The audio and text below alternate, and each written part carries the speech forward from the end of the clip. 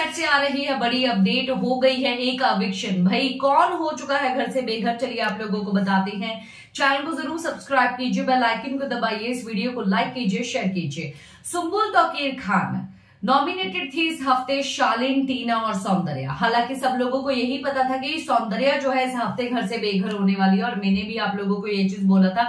सब लोगों ने ये प्रेडिक्शन कर ही ली थी। पर उसके बाद जो है ये अपडेट आई कि भाई निमृत को जो है एक स्पेशल पावर मिली और निमृत ने जो है सेव कर लिया सौंदर्या को, जिसके बारे में मैंने बोला था कि कंफर्म नहीं है और ये बात से पता भी चल चुका है कि ये चीज़ कंफर्म नहीं है। और उसी दौरान ही ये भी चीज़ आई थी अपडेट की भाई इस बार कोई अविक्शन ही नहीं की जा रही है। उसके बारे में भी मैंने बोला था कि कंफर्म नहीं है। तो अभी ये कंफर्म नहीं है तो इससे ये चीज़ पता चलती है कि भाई वो जो अपडेट्स थी, वो कंफर्म तो थी नहीं, क्योंकि अब जो है अपडेट ये आ रही है कि सौंदर्या शर्मा जो है घर से बेघर हो चुकी है, उनकी अविक्शन हो चुकी है। भाई अभी ये घर से बेघर हो गई है, काफ़ी समय रह के गई है, काफ़ी ज़्यादा नाम कमाएँगी। हालाँकि आप लोगों ने क्या सौंदर्य को किया था वोट या आपको उनके रहने से या जाने से कोई फ़र्क नहीं पड़ता है। बताइए ज़रूर कमेंट बॉक्स में कमेंट करके, इसी के साथ मैं लेती हूँ, इजाज़त नमस्कार